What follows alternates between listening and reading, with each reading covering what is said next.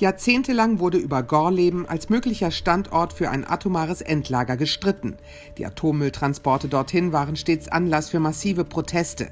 Jetzt stellt sich heraus, der Symbolort der Anti-Atomkraftbewegung in Niedersachsen kommt nicht für die Lagerung von hochradioaktivem Atommüll in Frage. Das geht aus einem Zwischenbericht der Bundesgesellschaft für Endlagerung hervor.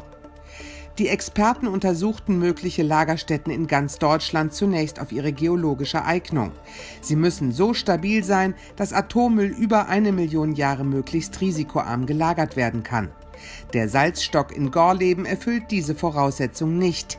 Er ist vereinfacht gesagt nicht wasserdicht und das Gestein darüber nicht stabil genug. Tonformationen in der näheren Umgebung von Gorleben sind dagegen weiterhin im Auswahlverfahren enthalten.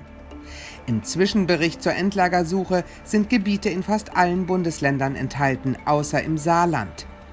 In den kommenden Jahren soll die Standortsuche weiter eingegrenzt werden.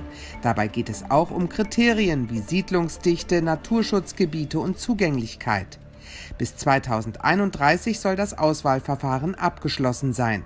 Die endgültige Entscheidung über den Endlagerstandort trifft der Bundestag.